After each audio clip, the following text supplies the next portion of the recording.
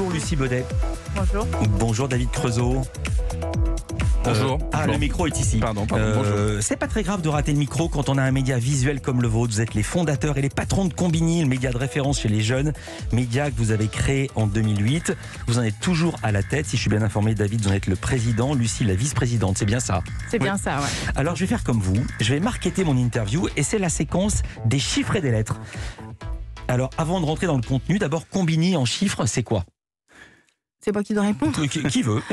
David, vas-y, je suis. Non, mais en fait, sur les chiffres, euh, c'est toujours euh, des gros chiffres. En fait, c'est 2, milliards en fait par an de, de vidéos vues. Euh, On est aujourd'hui le, le premier média sur les réseaux sociaux, notamment euh, sur Snapchat, sur euh, Instagram. Et, et c'est vrai que c'est des très gros chiffres. Au Je vais, final, on je vais les donner, trop, ça donne le est. Euh, sur votre site, il y a 10,6 millions de pages vues par mois, Facebook 5,3 millions de femmes, Instagram fans, pardon, Instagram 2,3 millions de followers, Snapchat 4,2 millions d'utilisateurs mensuels, Facebook 1,4 million d'abonnés, sur TikTok 563 000 followers. Pourquoi il n'y a pas de millions sur TikTok? Non, Vous y a- n'aimez pas ou vous démarrez? Non, parce qu'en fait TikTok c'est pas forcément une plateforme de followers. En fait, on a beaucoup de, euh, il y a différentes parties dans, dans, dans TikTok et on démarre. Oui, on a démarré il y a, il y a maintenant six mois à peu près. Et c'est vrai que c'est une plateforme sur laquelle on a vraiment besoin de, de, de, de progresser, mais on progresse très très vite et c'est une plateforme qui est très inspirante en fait pour Ouais, nous. pour euh, nous, c'est, euh, on est encore en work in progress, on va dire, Ouais. sur Ouais. TikTok, mais par contre, c'est un, un endroit d'éclate quand même. Twitter, ça, vous intéresse intéresse moins Pour quelle raison Euh, ben, on n'est pas tellement allé sur Twitter, on n'a pas démarré au début, on s'est pas intéressé au truc, ça nous paraissait un peu, euh, on va dire, il y avait trop la profession et pas assez le public qu'on cherchait à avoir. on- Alors Lucie Baudet, puisque vous ça parlez du début, c'était quoi euh, l'idée de base qui a présidé à la création de Combini Bah, en fait, au début, on, avait, enfin, on, a- on est vraiment parti de la culture au départ. C'est-à-dire qu'on avait vraiment euh, euh, tout un. Tout un mais, mais le début, c'était il y a longtemps, hein, c'était il y a 14 ans. Donc ce qu'il faut savoir, c'est qu'il n'y avait pas Facebook, euh, ou en fait, il n'y avait pas de, de médias sur Facebook. Et nous, on voulait juste valoriser une culture euh, qui n'était pas toujours visible dans les grands médias, on va dire. Une culture plus jeune, des nouveaux talents, des newcomers. Et, et c'est vrai qu'on a, on a vraiment travaillé à, à tout, tout ce, toute cette longue traîne. Juste d'un mot, on vient de parler de manga, si je suis bien informé. Combini, c'est un mot japonais. Exactement. Ça veut c'est- dire Ça veut dire euh, en anglais, ça veut dire convenience store, mais ça veut dire supérette en fait. En vrai, c'est un endroit dans lequel on trouve de tout, et c'est vrai que ça, ça correspond assez bien au concept de Combini, puisque finalement, c'est un mélange de beaucoup de choses finalement. Au départ, vous venez pas de journalisme, mais vous venez du milieu de la pub. Qu'est-ce que ça change? Quelle a été votre démarche?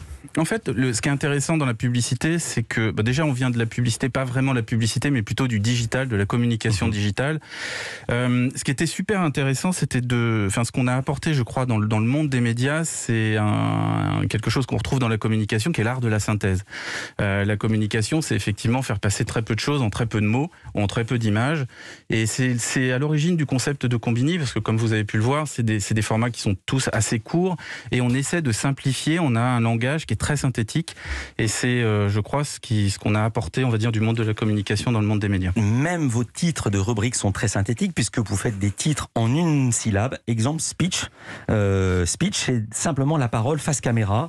Il y a parfois des témoignages bouleversants. On est au-delà du divertissement. C'est le cas du témoignage de Clara Arnoux. Elle a 21 ans. Elle a été victime d'un viol suite à une attaque à la seringue, alors qu'elle rentrait d'un dîner seule. C'était un soir dans le centre-ville de Lille. Elle est face caméra et c'est elle qui raconte.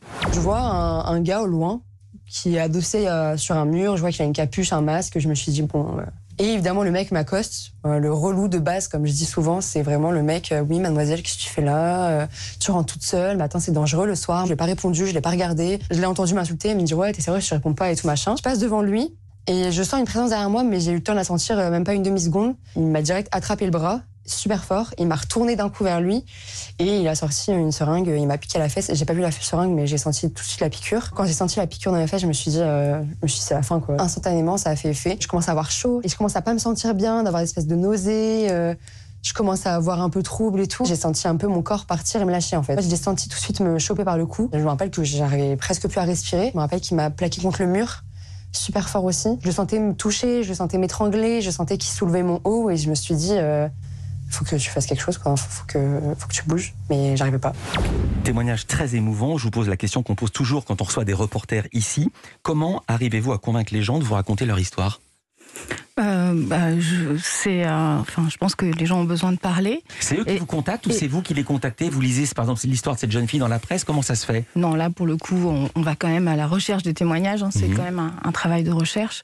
Mais c'est vrai que la visibilité, elle est essentielle et que se battre pour la visibilité de, de- de ces témoignages euh, et, de ces, parfois de, de, ces, de, enfin, de tous ces jeunes, de tous ces, de tous ces gens qui sont pas toujours visibles, c'est, c'est un combat qui est, euh, qui est acquis aujourd'hui. Je pense que c'est leur, c'est leur démarche aussi à eux. Et je dois préciser que ce que vous avez de différent avec une émission traditionnelle, on l'entend au son, ce sont tous les points de montage. Il n'y a aucun temps mort. Les petites sautes pour qu'on passe tout de suite d'une phrase à l'autre, Oui. c'est Combini, c'est votre montage. Nous, on a euh, dupliqué, répliqué. Combien de salariés chez Combini? Combien de journalistes? Alors il y a 180 personnes aujourd'hui euh, euh, chez Combini. On est à peu près 80 journalistes quand on intègre en fait toute la, la partie euh, production. Donc c'est c'est vraiment une grosse équipe malgré tout pour un Ouais. média digital.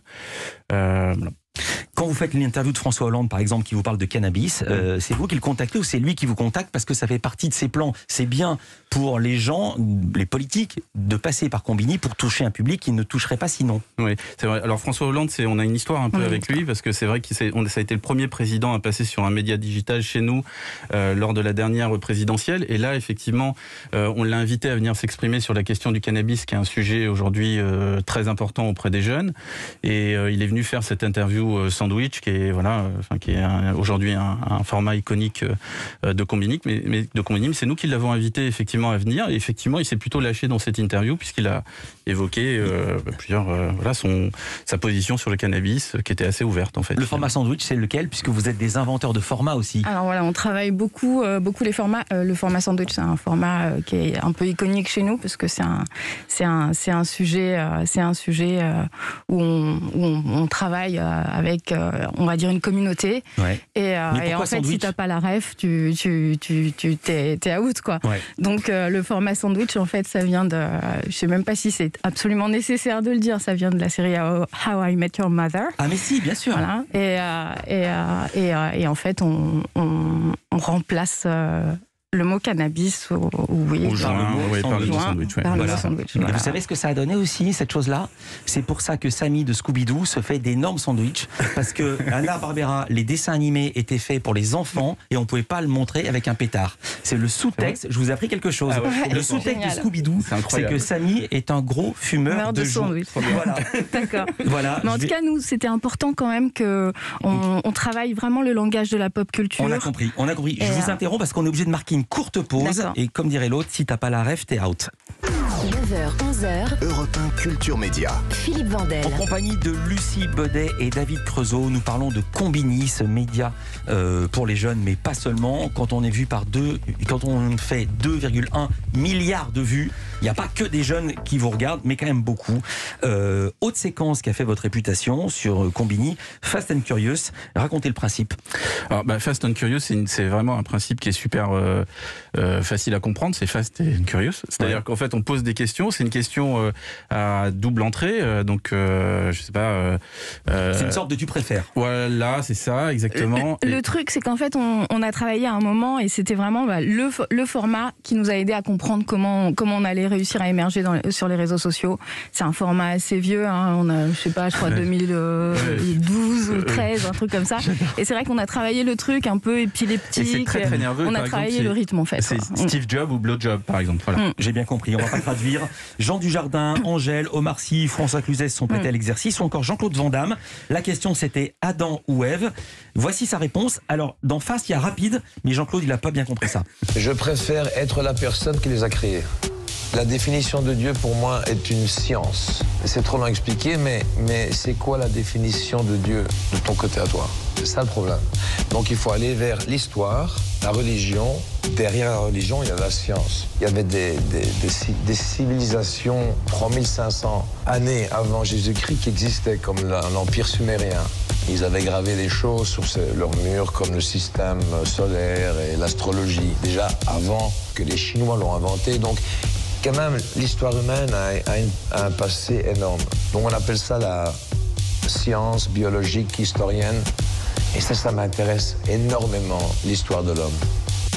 Voilà, Fast and Curious et Vandame, il fait 45 secondes. Voilà, ça vous c'est fait slow- rire slow- encore slow de and curious, Ouais. Euh, c'est un format, ça a été imité, ça a été Ouais. copié. Ouais, ouais. Ouais. Ça vous énerve? Ça a été parodie aussi. Ça, Ouais. ça, par contre, ça nous plaît. Ça, c'est joyeux d'être On a parodié. justement reçu des, euh, un des, des slow and euh, je sais pas quoi. Ouais. Non, après le fait d'être copié, c'est pas vraiment, je pense, un stress pour nous. Au contraire, je crois qu'on a un peu contribué à écrire une page de l'internet que d'autres s'en inspirent. Moi, je trouve ça très bien. Mais c'est un petit peu rageant. Moi, je viens du journal actuel. Bizot se faisait piquer des talents, sais, il n'était pas content. Je vous en parle parce que vous aussi, vous faites piquer des talents. Ouais. On l'a annoncé ici en début de semaine. Le Mhm. nouveau patron de la radio Move, Mathieu Mhm. Marmouget, c'était votre ancien directeur général. Et Radio France l'a pris justement pour rajeunir son audience. Parce qu'avec Combini, il a appris à parler aux jeunes. Ça vous met dans quel état? Bah déjà, Mathieu, c'est un super pote, donc euh, c'est non, il n'y a pas de problème de se faire piquer les gens. Euh, euh, moi, je suis très content pour lui, en fait, en vrai. Ah bon, d'accord. De la même Et puis façon. si on peut contribuer à, à- à- à avoir un impact sur d'autres médias. Ah bah vous avez un impact sur d'autres médias. Vous avez fait un joli coup il y a quelques années avec la venue d'Hugo Clément quand il avait quitté l'émission Quotidien et finalement il est parti sur France 2. Pourquoi vous n'avez pas réussi à le garder Hugo Clément?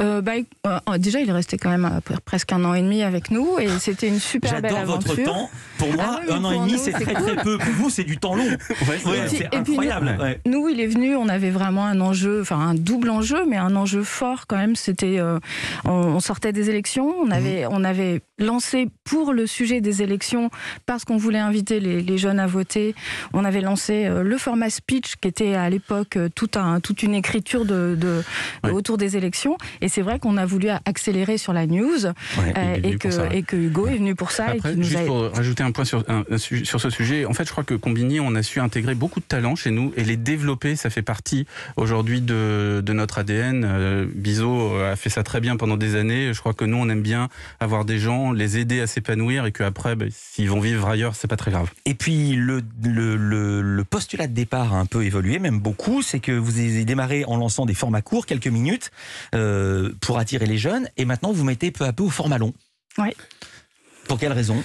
Euh, Déjà, il y a plusieurs plateformes et plusieurs consommations sur les plateformes. C'est une, une- une plateforme comme YouTube, par exemple, c'est une plateforme sur laquelle on peut passer plus de temps. Donc on, a, on s'adapte en fait à ces, à ces mouvements. Et puis, euh, contrairement peut-être à la télévision, nous on n'a pas de format de temps. On fait un peu ce qu'on veut. Donc en fait, en fonction des sujets, si on a envie de le décliner sur, euh, si on a besoin de plus de temps pour l'exprimer, on peut le faire. Il n'y a pas de contrainte de, de temps. On pose toutes les questions ici. C'est quoi votre business, business model? Comment vous gagnez de l'argent? Puisque quand on regarde Combini, c'est gratuit. En fait, c'est la publicité. C'est comme tous les médias gratuits. Euh, donc ben, voilà, c'est de la publicité. euh, Et vous faites du brand content ouais, C'est ça des exactement. vidéos qu'on tourne pour les marques. Euh, vous avez refusé, ai-je lu, l'offre d'achat de votre concurrent. Pour quelle raison? Alors c'est une fake news. C'est vrai Oui. Vous n'avez jamais refusé. Est-ce que c'est une fake news qu'en 2019, vous avez eu très très chaud, vous avez quadruplé vos pertes qui ont atteint 19,25 millions d'euros? Euh, Ma question est, est-ce que ça c'est vrai? Et est-ce que désormais vous êtes devenu rentable? Alors déjà ça aussi, mais moi je me suis, on s'est déjà exprimé avec Lucie sur ce sujet. Ça aussi c'était une fake news. Euh, C'est dans Capital, qui est un journal très sérieux, journal économique, c'est dans le Capital du 11 mars. Oui, bien sûr, mais on est revenu sur cette information à vrai plusieurs reprises. Non, c'est pas vrai. En fait, enfin, la manière dont c'est tourné, c'est pas vrai. Et d'ailleurs, euh, il y a eu pas mal de, de- de choses qui ont été dites sur ce sujet. euh, des gens qui faisaient leur carton chez Combini. euh, bon, voilà, ça fait partie du jeu. Je crois que plus on est visible, plus on est attaqué. Aujourd'hui, Combini, c'est une, une société qui cartonne. On a passé une année extraordinaire, une des meilleures qu'on a jamais faites jusqu'à maintenant. On est euh, 180. Voilà, on continue d'embaucher des gens. Je pense que la dynamique, elle est extrêmement euh, favorable. Après, c'est vrai qu'il y a eu beaucoup d'investissements dans l'entreprise. Aujourd'hui, on est dans une phase de maturité et euh, voilà, on continue à se développer et on a beaucoup La de phase projets pour d'investissement l'avenir. est derrière nous et la phase de maturité arrive, mais c'est vrai que c'est vrai que ça a été euh, ça a été euh, une année as- assez chouette quand même pour Combini et je pense que tout le monde peut le dire chez nous. Merci beaucoup en tout cas d'avoir été avec nous, David Creusot, Lucie Bedet. Je rappelle Combini, le média référence chez les jeunes que vous avez créé il y a très très longtemps. C'était en 2008, c'est dingue. Ouais. On était encore enfants, mais non, je plaisante. C'était l'année de l'arrivée de l'iPhone.